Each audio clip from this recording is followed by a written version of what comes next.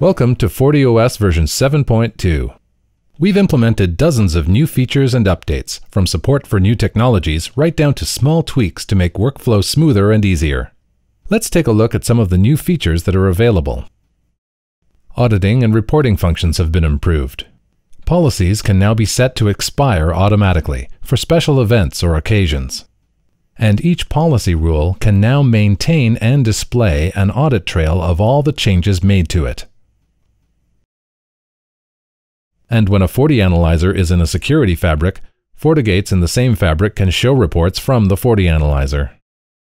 For Wi-Fi, we've greatly simplified selecting channels in FortiAP profiles, particularly for 5 GHz bands, with the ability to easily aggregate channels by width and toggle special purpose channels. We've enhanced our map feature. You can now see multiple map cards on the main list, and each card has the ability to highlight potential issues, like an offline AP device. Our system and security event log pages have been updated to be more informative and easier to navigate.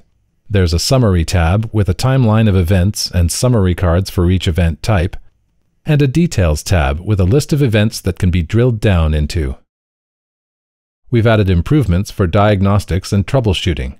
The process for capturing packets through any or all interfaces is now much more intuitive.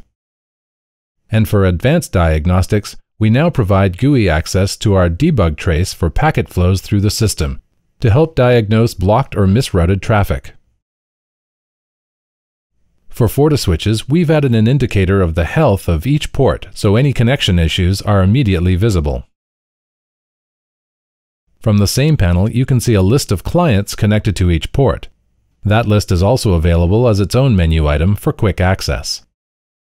We've also added an operational technology view to the Asset Identity Center, illustrating the Purdue levels of devices for manufacturing enterprises. In the security fabric, we've added descriptors to firmware upgrades to let you know if an upgrade is a feature release with new functionality to try out, or a mature release with an emphasis on stability. Thanks for watching. We think you're really going to enjoy working with this version.